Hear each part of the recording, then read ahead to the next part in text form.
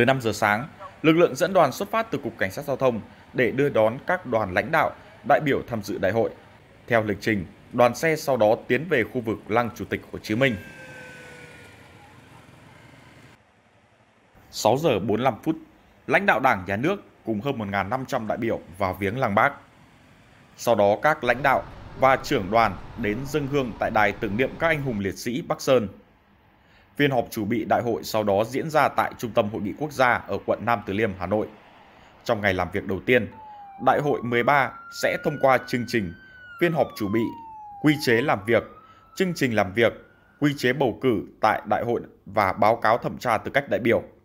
Cũng tại phiên chủ bị, các đại biểu bầu đoàn chủ tịch, đoàn thư ký, ban thẩm tra tư cách đại biểu.